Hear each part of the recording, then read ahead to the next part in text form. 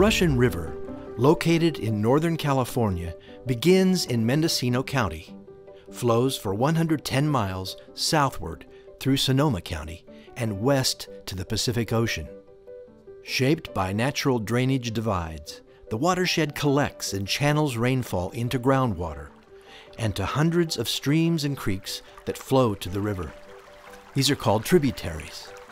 The watershed consists of about a million acres of surrounding coastal mountains, valleys, fields, and forests. Historically, the river's course moved back and forth across its floodplain. The region's dry summers sometimes reduced the river to a series of pools connected by a ribbon of water. Wet winters swelled the river, and floodwaters often overflowed its banks. With the growth of communities and agriculture, people tried to stabilize the river channel and manage it for flooding, drought, and human needs. In the early 1900s, north of the Russian River, the Potter Valley Project was built to make electricity. It diverted water from the Eel River through a one mile tunnel under the mountain that divides the Eel and Russian River watersheds to a hydroelectric plant in the Russian River watershed.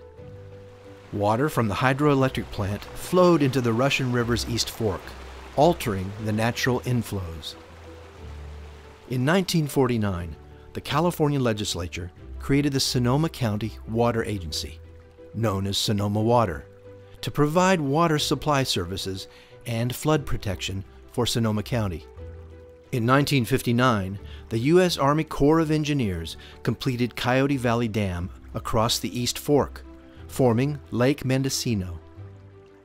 Water from the Potter Valley Project flows into the lake.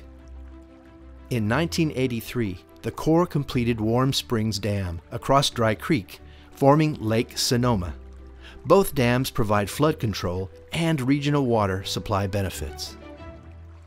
Water released from the reservoirs is pumped by six collector wells adjacent to the Russian River near Forestville, treated, and then distributed to cities and water districts in Sonoma and Marin counties, which serve more than 600,000 people.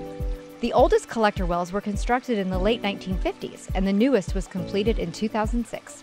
The wells vary in size, with the largest having an 18 foot diameter concrete caisson or pipe, which extends about 80 feet below the streambed.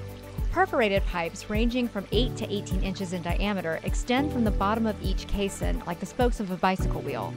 When large pumps on the collector wells are turned on, water is drawn through gravel and sand into the lateral pipes and then into the caisson. This naturally filtered water is treated with chlorine as required by drinking water standards and the pH is adjusted. In addition to the river collector wells, Sonoma Water operates three groundwater wells in the Santa Rosa Plain. These wells were constructed in 1977 as a drought relief measure. The wells are currently being upgraded to comply with current drinking water standards. Sonoma Water's 88 mile aqueduct system delivers water to cities and water districts. Aqueducts are large underground pipelines ranging in size from 16 to 54 inches in diameter. The vast majority of aqueducts are between 45 and 65 years old. 18 steel tanks with capacity to store 129 million gallons of water are located throughout the system. These tanks provide daily operational and short term emergency storage and are critical during hot spells when water demands increase. The aqueduct and storage system is designed to take advantage of gravity to reduce the cost and energy of moving water.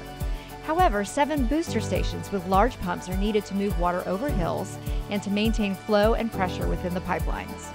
Most of the water transmission system was paid for by customer revenues through a series of board approved bonds issued between 1955 and the mid 1970s, totaling 123.5 million.